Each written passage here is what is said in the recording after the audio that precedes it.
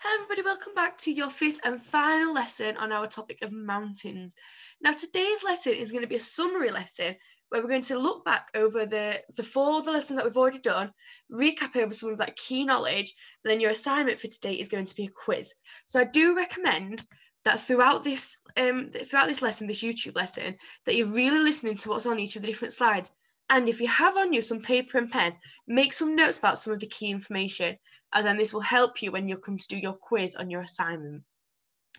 So your success criteria for today is to be able to name the main features of mountains, to be able to locate and name famous mountains in both the UK and around the whole world, um, to be able to explain how different types of mountains are formed, to be able to explain what it's like to live on and around mountains, as well as be able to name some of the adaptations that animals and plants have made to be able to live successfully on mountains.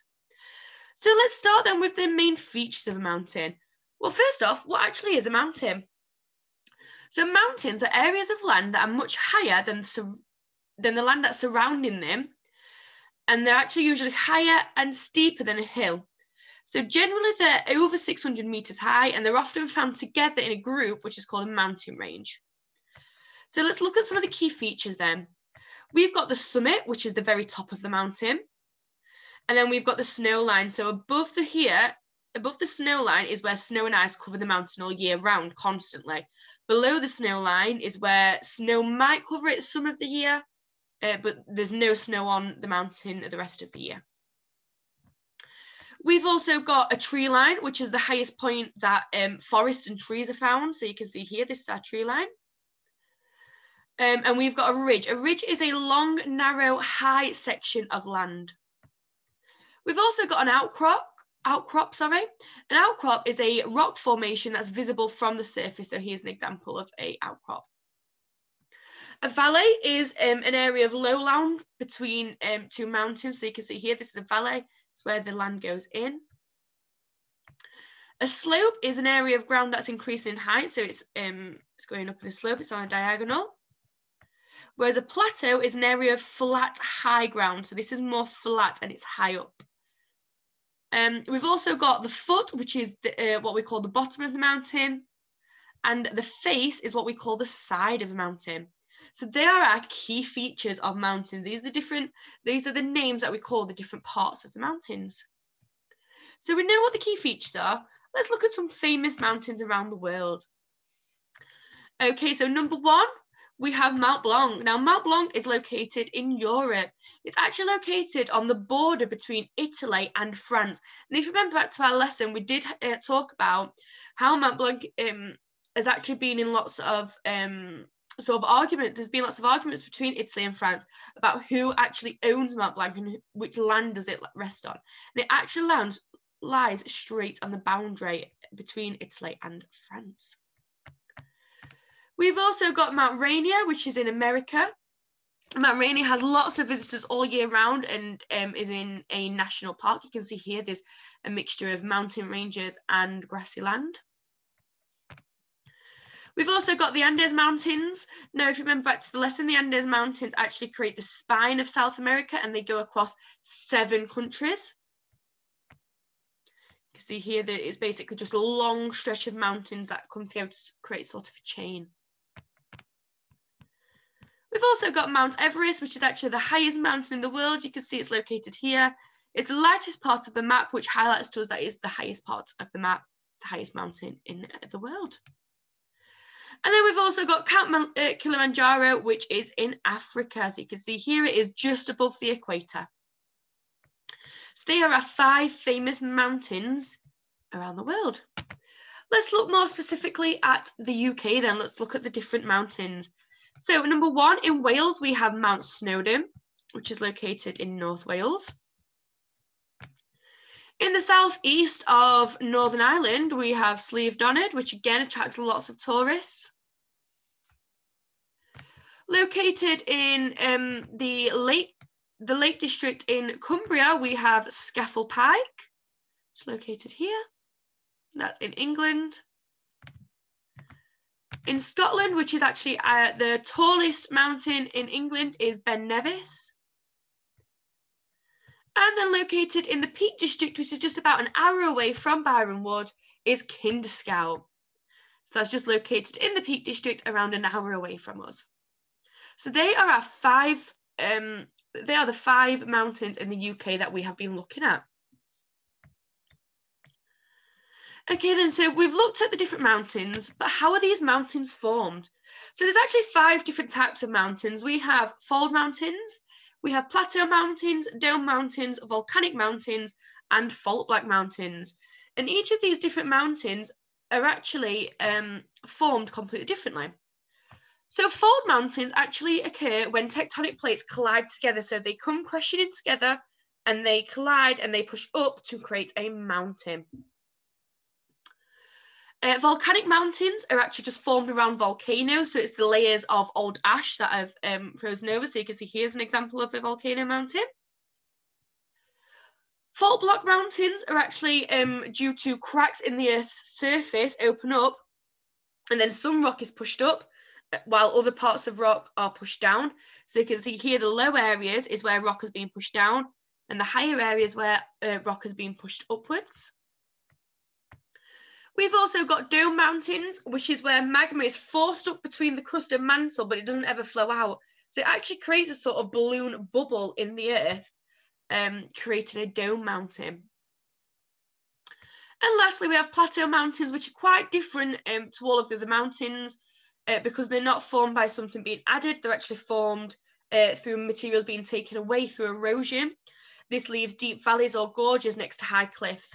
So you can see here in the valleys, the low parts of the mountains, um, that is due to erosion. So that could be through to um, weathering, for example. And the, um, the erosion takes away the material of the rock and it leaves high cliffs, which leaves us plateau mountains. Okay, so that is the five different types of mountains and how they are formed. And finally, then, um, in our last lesson yesterday, we actually talked about the difficulties of living on a mountain and how different animals and plants have had to adapt to live on mountains. So then the three difficulties that we looked at into living on a mountain was that it's difficult to build roads and railways. It's also really difficult to live and farm on mountains. Um, this is due to the rocky terrain um, making, it, um, making it not very um, fertile land for them to grow plants. Um, and there's also um, lots of hostile weather and low oxygen levels. And we actually spoke about how um, if you're um, if you're a tourist and you go climbing up a really tall mountain, you actually have to take oxygen masks to help you breathe because the air gets really thin. Uh, we also talked about how um, the American Uru tribe have actually adapted themselves to having bigger hearts and lungs, which helps them breathe better with the thin oxygen. So then let's look at three different animals and two um, plants and how they adapted to live on mountains. So we have got the brown bear. Um, so the brown bear has adapted itself by having a really thick fur coat and a big uh, layer of fat. And this actually helps to insulate them from the cold weather. Um, so they don't feel the cold as, um, as much and they're able to walk around in the snow and they're fine. Uh, brown bears also have really long but blunt claws that help them dig up food. So their claws don't actually retract back into their paws. They're always out. Um, so they're blunt from uh, walking on um, the different terrain. But this is okay because they're still really large um, and it helps them dig up food. So they can, they're able to dig up the, um, the really hard rocky ground um, and dig up some food. We've also got bighorn sheep. Um, bighorn sheep have adapted as now they've got um, they've actually got two parts to their hoof. So they've got the really soft, spongy middle part of their hoof, and then they've got a really um, sort of a harder outer edge. Um, and the difference in the different in the two parts of their hoof, sorry, actually help them to keep a balance and keep a really good grip on the steep, rocky surfaces that they have to walk on. And we've also got mountain hares, which are like a rabbit, and their fur actually changes. They change, um, they shed their fur twice a year, um, their fur changes colour to help them camouflage into their surroundings. So in winter they are more of a um, they have more of a browny fur to match their um, surroundings, whereas in the winter they have a really white fur to match their surroundings of their snow. Their winter coat is actually really thick as well, and they've also got really big paws and really furry paws in the winter. Uh, the larger paws actually allow them to have a bigger surface area, which means they're less likely to sink in. If they had really tiny, um, tiny paws and tiny feet, they would actually sink very quickly into the snow and they wouldn't be able to run very quickly. So we've also got two types of trees as well that we can look at and how they have adapted to living in the really cold mountain um, areas. So we've got spruce trees. So spruce trees have really waxy needles and a really tough bark. So the waxy needles actually protect them from the bitter cold weather. So it protects the needles, so the needles aren't um, exposed to the cold weather so they don't die. They've got a really thick layer of wax around them. And the tough bark of the actual tree actually protects the tree from predators, so it's harder for predators to attack the tree and bite it and break it. We've also got pine trees, and pine, the leaves on pine trees are actually very needle-like, so they're very long and thin. This means that they're not they're not a good option. They're not a good food option for predators, which keeps the predators at bay, as they're not going to go, want to go and eat the pine leaves. Okay, so there we have looked at what mountains are, the different features of mountains. We've looked at famous mountains around the world and uh, famous mountains in the UK. We've also looked at how the different types of mountains and how each different type of mountains are formed. And then finally, we've looked at the difficulties of living on a mountain and the animals and plants adapt adaptations um, so they're able to live on mountains successfully. So for your assignment today, then your assignment is going to be posted as a quiz. So what I recommend you doing is you going back through the video, pausing it and having a look at the different slides. Um, you could even maybe write down some facts and some information to help you answer the quiz um, questions correctly. Take your time answering the questions. If you're unsure about any, um, you could possibly go and research the answer or think back through and watch this video, video back through um, to help you answer because all of the answers to the quiz are on this lesson. I look forward to seeing how well you do in your quiz um, and thank you for um, doing some really good listening and learning for our mountains topic. Okay, thank you.